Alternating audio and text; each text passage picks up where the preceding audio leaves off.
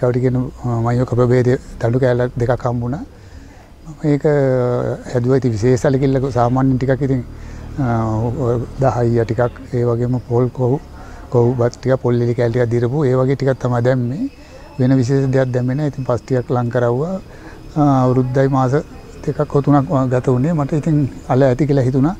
පස්සේ මටම පුදුමයි ටික ටික ගලවනකොට විශාලම විශාල අල ඒ ගස් දෙකේ කියන්නේ එක පඳුරේ අල කිලෝ 44ක් තිබ්බා ඉතින් අද වෙළඳපොලේ මිලත් අනුව මේ කිලෝ 44ක් කියන්නේ ඉතින් රුපියල් 200ක් විතර වෙනවනේ කිලෝක් ඒක රුපියල් 8000 පැනලා 44යි